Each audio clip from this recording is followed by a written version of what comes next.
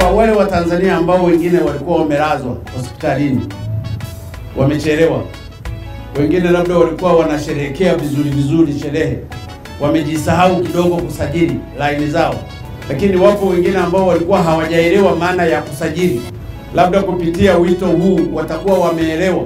Nimeongeza siku ishirini. Kuanzia tarehe moja mwezi wa kwanza mpaka tarehe ishirini mwezi wa kwanza.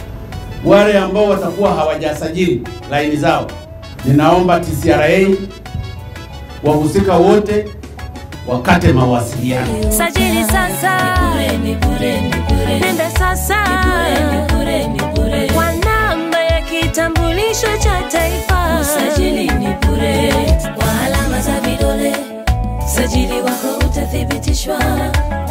Unasubiri nini wewe? Zoezi lina manufaa kwetu mataifa